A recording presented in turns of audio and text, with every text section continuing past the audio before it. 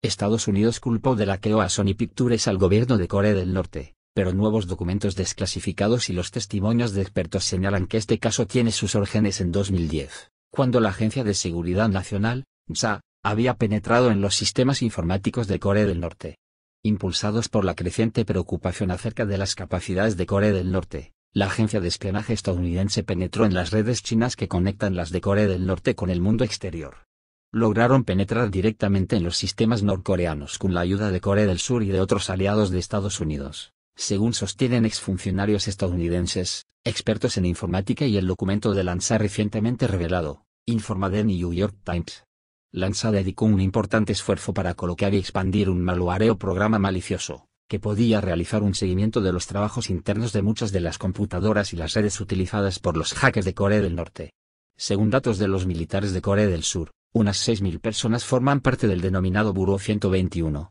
la unidad cibernética norcoreana. De acuerdo con los funcionarios y expertos, que hablaron sobre la operación de Lanza bajo la condición de mantener el anonimato, las pruebas reunidas sobre las actividades cibernéticas de Corea del Norte fueron determinantes para persuadir al presidente Obama de acusar al gobierno de Kim Jong-un de ordenar el ataque a Sony.